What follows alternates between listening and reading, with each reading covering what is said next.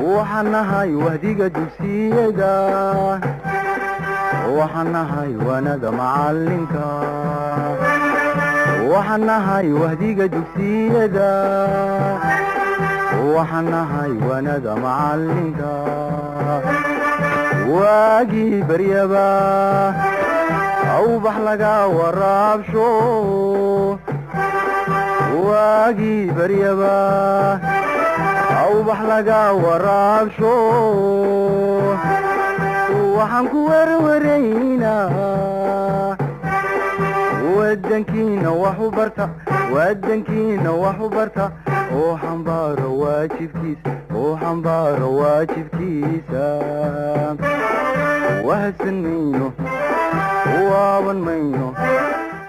kulanti wacna wanaagsan daawadayaal ku soo dhawaada barnaamijka waxbarashada oo toddobaadkan si toosa idinkaga imaanaya xarunta mustaqbal oo ah xarunta markaasi wax lagu barta wax lagu bara ee carruurta baahiyaha gaarka ah. Qaba xaruntani ayaa ah xaruntii ugu horeysay ee markaasi laga fura soomaaliya gaar ahaan magaalada muqdisho. Waxaana xaruntani markaasi furtay gabdha soomaaliyeed oo markaasi isku xilqaamay si ay u dabooli lahaayeen baahida carruurta soomaaliyeed ee baahiyaha gaarka ah qaba aanan awoodin markaasi inay tagaan iskoolada caadiga ah ee markaasi wax lagu barto. Inta aan ku sugannahay xaruntani waxaan idiin soo gudbin doonaa qaabka markaasi ee galaasyada ay u fadhiyaan waxna u bartaan caruurtani baahiyaha gaarka ah qaba.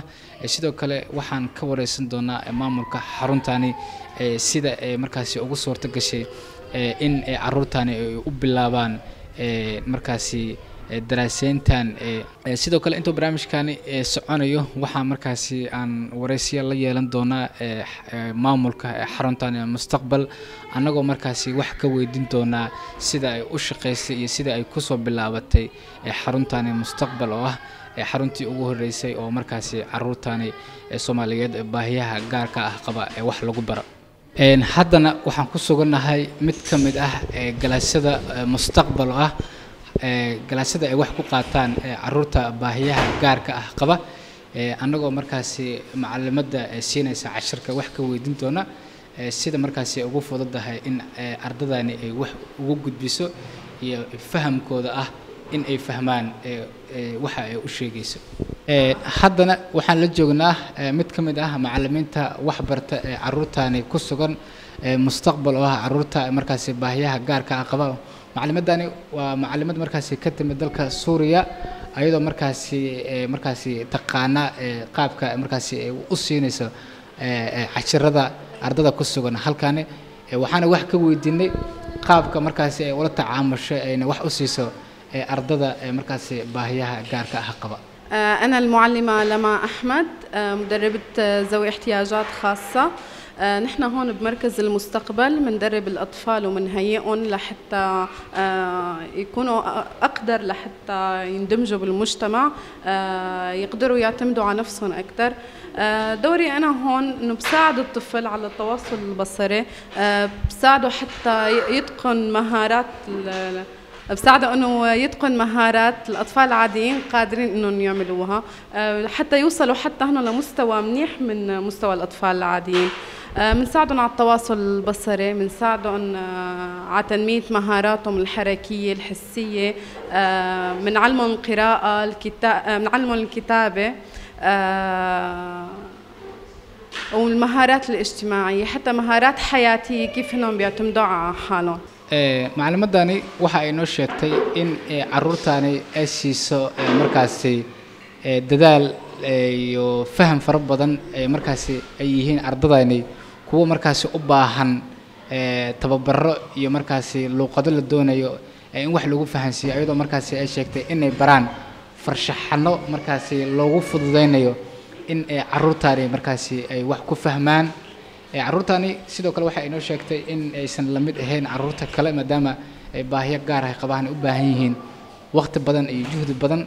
Ayagoo markaasi sida aan soo aragnaba waxyaalaha inta ugu badan wax lagu fahansiinaya ay tahay farshaxano iyo markaasi iyo kalaro markaasi ay isku aad aadinayaan.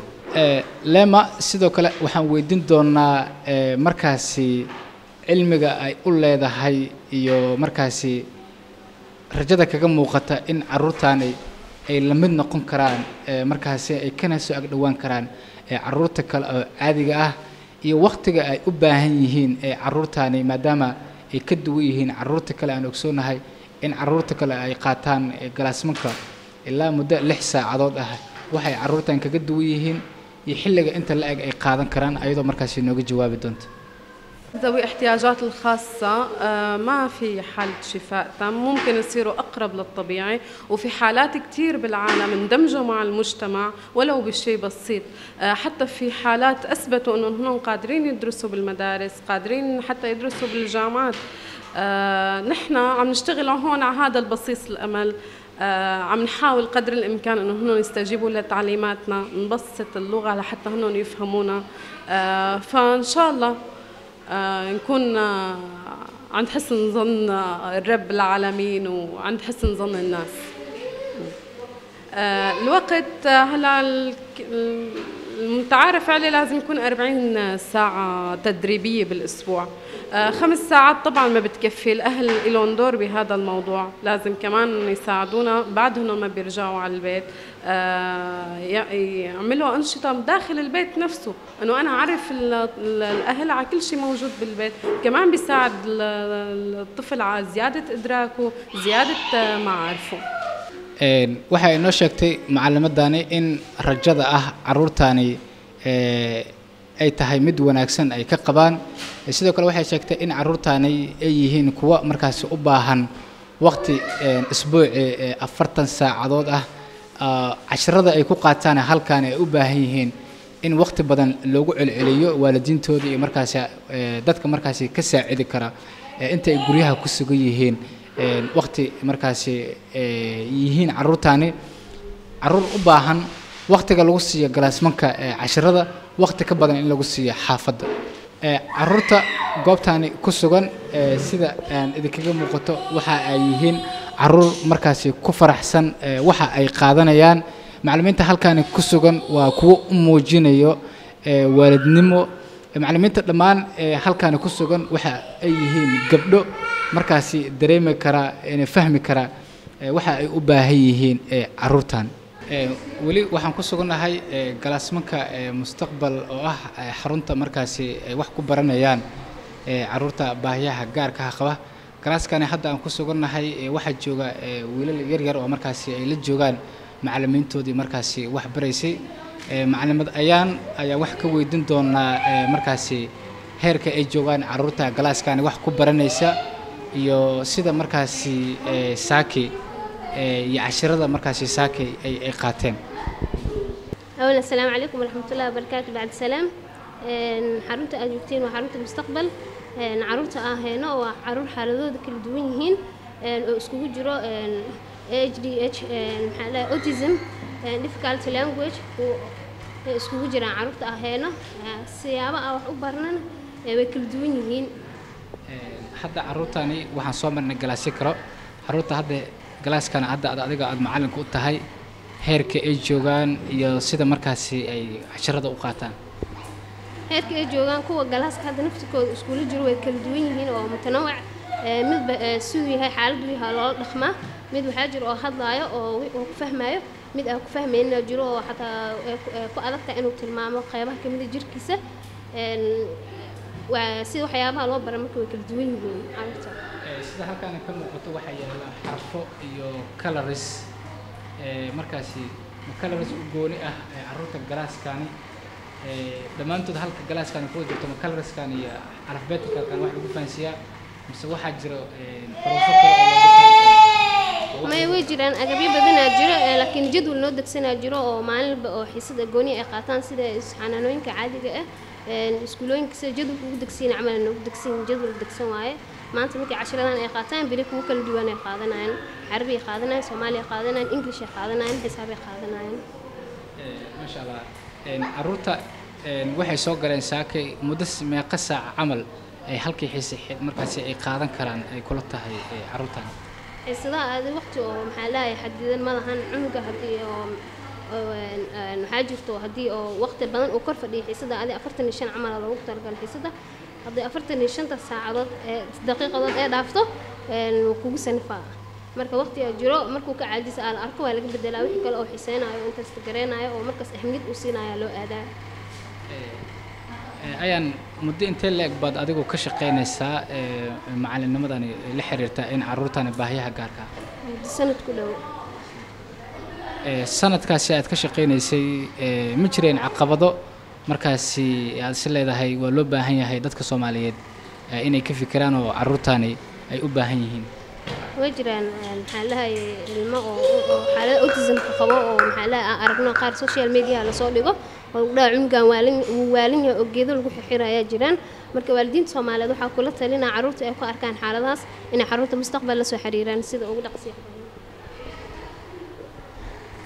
dabcan eh, galaaskan aan ku sugannahay waa galaaskii labaad ay wax ku qaadanayaan eh, carruurta eh, markaasi eh, mustaqbal xarunta mustaqbal.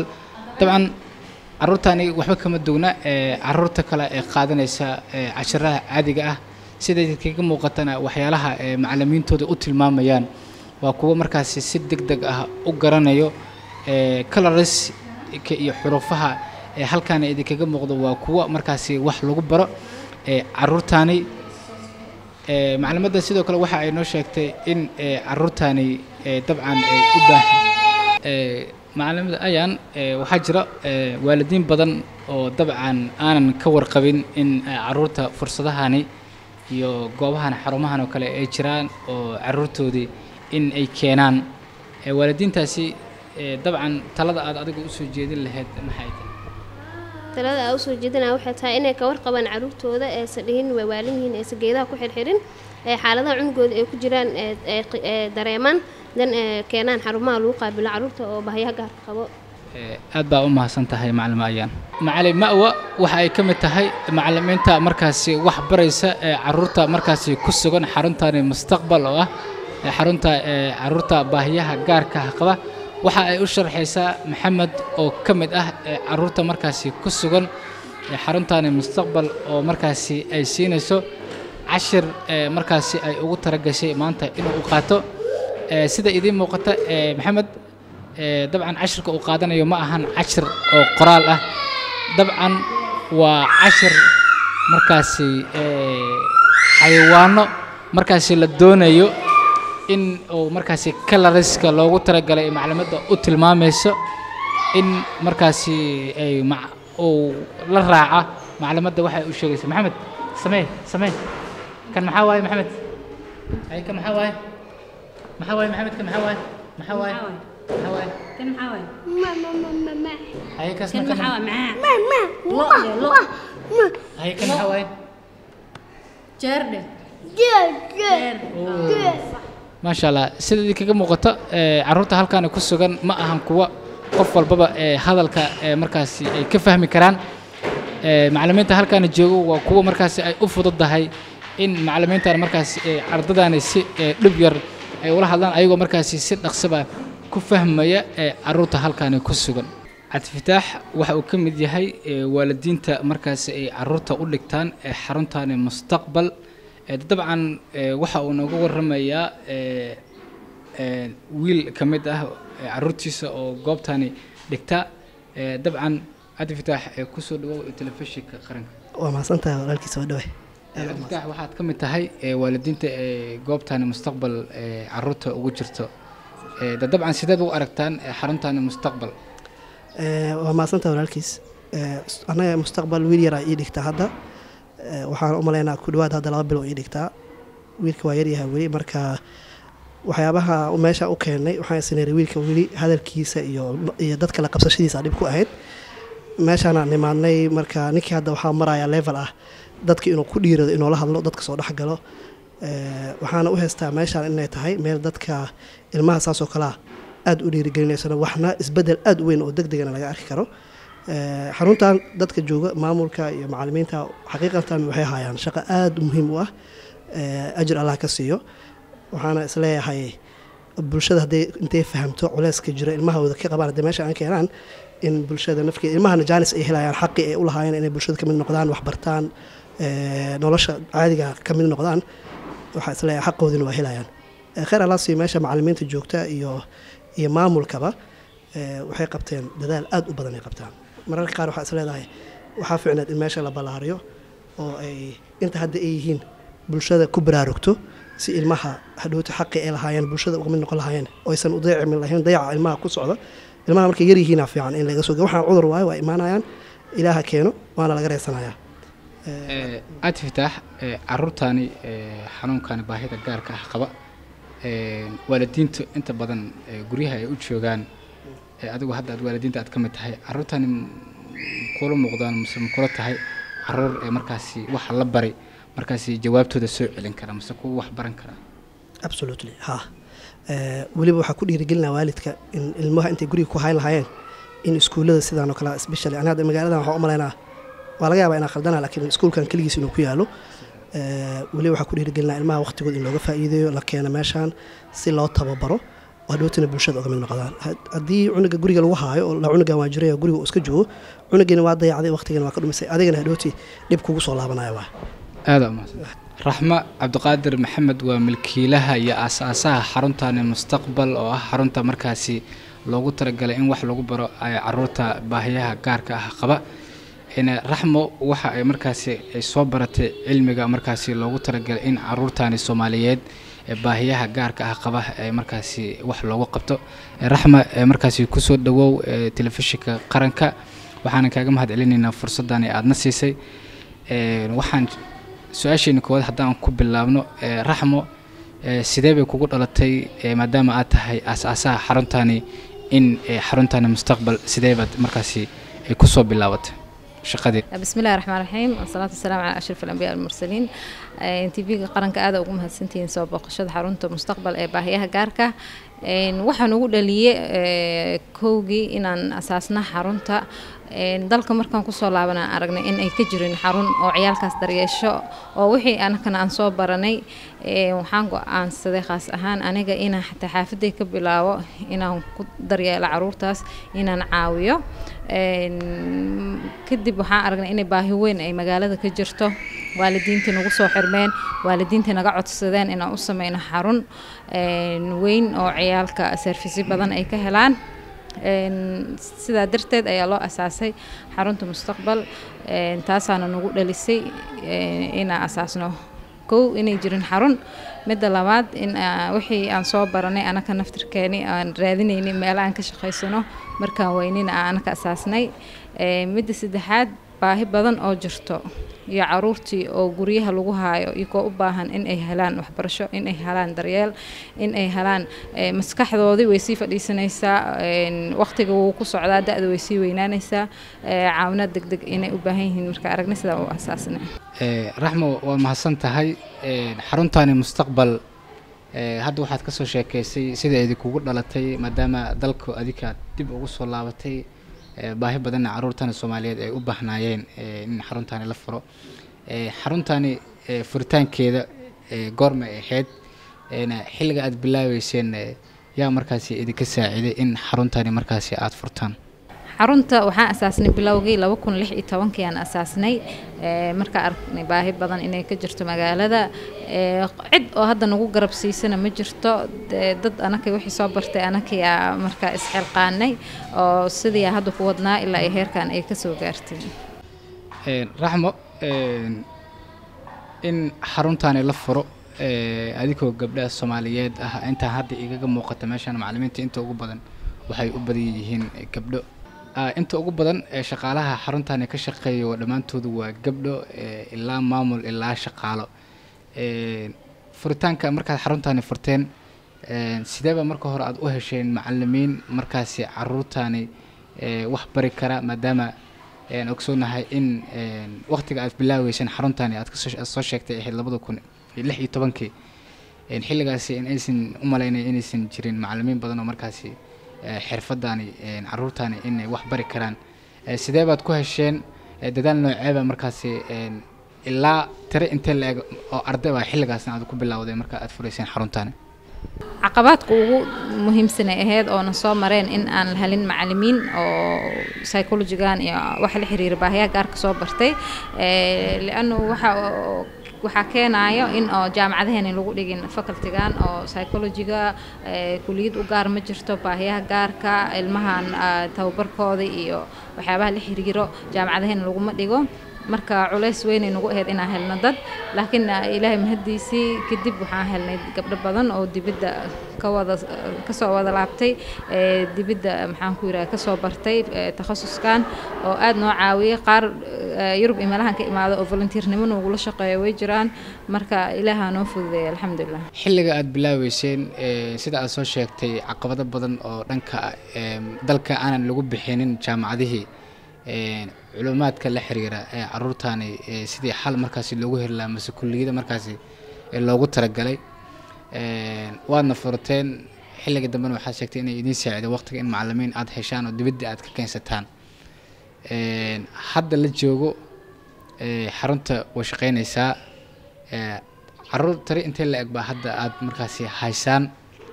Ee, sidee baadna marka ugu qaybisaan in waqti intee la eg baa cunugani uu u baahan yahay ee, in uu xiisadda uu ku qaato maadaama ee, carruurta kale oo caadiga ah aan ogsoonahay in xilliga ay soo galaana tahay ee, subaxi ayna ka baxaan xilliyada duhurkii marka caruurtaasi ma xilli ka yar bay wax qaataan mise xilli intaas ka badan ay u baahan yihiin inay wax qaataan. Tirada carruurta markaan ka hadalno anaka hadda xanaano caadi manihin amba iskuul caadi manihin waa iskuul baahiye gaar. Iskuulka baahiyaha gaarkana wuxuu leeyahay yacni si qaas oo ilmahaas wax loo baro. Ee, sidaas oo noqonaysa cunugii ilmihii in oo toddoba cunug fasalkii lagu haayo ay laba macalin hayso ay shaqaalo nadaafo ay gooni ay u tahay qofkii hadal baraya uu gooni ka yahay. Marka ilmahan ilmo badan laguma aruuri karo fasalkii. Ee, ciyaal badan oo oo xaaladan hal meel iskuma keeni karo. Sidaa darteeda waa fasalada ciyaalka cadadkoodii say isu qaadanayaan xaalaadka loo xareynayaa ee, toddoba ilaa iyo toban cunug maximum aa fasalka la gelinaya sida daryeelkooda iyo waxbarashadooda iyo ay u tayaysanaato way jirtaa in bulshada ay aaminsanaayeen carruurta inay wax baranaynin. Ee, waalidiinta qaar ay fahansaneen xataa xaaladda cunugan ay guryaha ku haystaan. Qaarkooda lugaha laga xiraayo waalidiin qaar laba iyo saddex cunug ay haystaan ay isku dhibaataysan yihiin waxay leeyihiin kan waa dabaal amba waa la maray amba shayaadiina hayso guriga la iskaaga hayaa Wa- waalidka qaar markuu cunugku kana kama waxay bari doonaan ku dhahaa? "Eh, cunugan hadhow wuxuu gaaraa heer fiican oo wax aqriyo oo wax qoro. Qaarkoodii xataa hadda way noo qalinjibiyeen iskoolaad caadi aadaan. Qaar kalena hadda way noo qalinjibi rabaan. Alxamdulilah ilaaha noo fududeeyey. Laakiin ciyaalkan maskaxdooda aaday u fiican tahay. Tababar fiican hadday helaan qof xaaladooda fahmo iyo meelaha laga caawi lahaa haddii laga caawiyo way ka bogsanayaan xaaladda. Raxmo xaruntani waxaad sheegtay in xilli adag aad soo bilowdeen.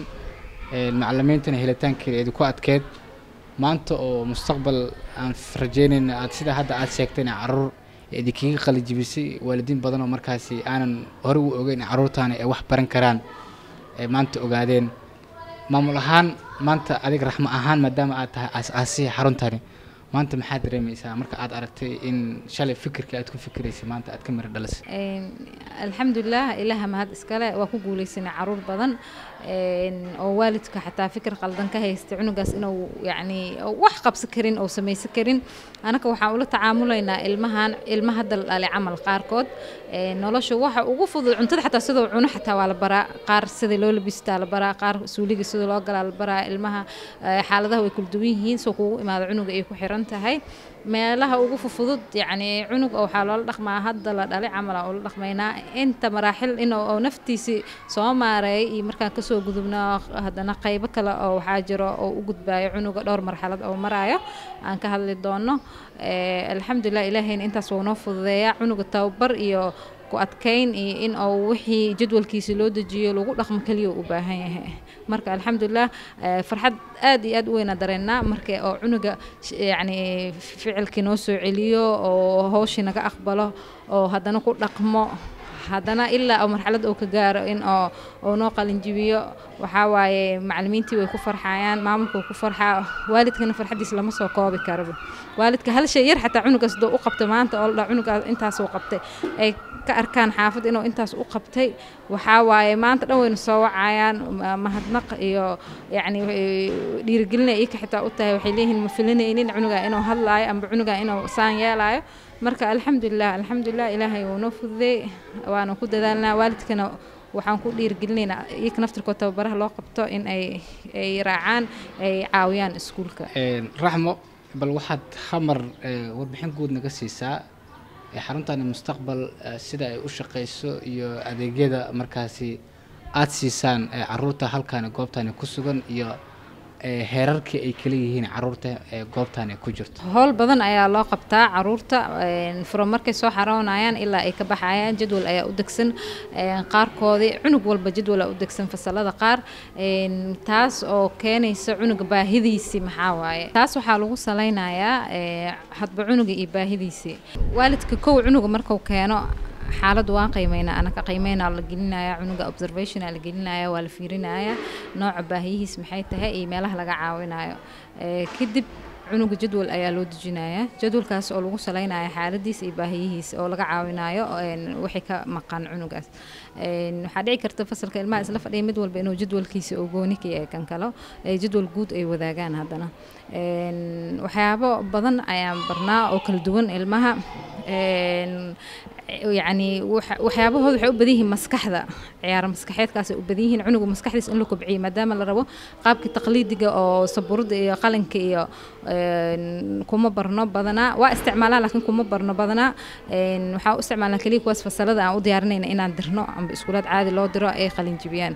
Marka ciyaar maskaxeedkaasaa u badan intaa isticmaalno kala soocid waxyaaba la dhaho ay kala soocayaan kalaradii ay kala soocayaan waxyaabaha markaas ay ku ciyaarayaan waxaa jiro waxay isu eg eh, in ay isku leexiyaan. Ee, maxaan ku yiraahdayey een, wixii maalan eh, kaararaa la siinayaa. Qaabka iskugu egyihiin inay isku saasaaraana la rabaa. Cajiin ay ku ciyaaraana jiro oo enerjiga ka saaro. Ciyaalka fudud camal aa loo isticmaalaa kuwaas waxaa jiro ee, fadhiyo hadal baris oo ay u baahan yihiin dhammaantooda ilmaha eh, xarunta ay hayso kaas oo la dhaho speech therapy aa la dhahaa hadal baris. Hadal baristaas aaday muhiim ugu tahay cunug walba inuu ka qaato maalin walba inuu ka qaato saacado. Ee, sidoo kale in oo cunugaas lala xiriiro naftirkiisii ee, eegmada indhaha inuu ku soo eego inuu ku yacni kula hadlo inuu ku soo fiiriyo inuu adiga interaction kula bixiyo ayaa loo baahan yahay. Ee, taasna aaday muhiim u tahay waa lagu tababaraa ilmaha.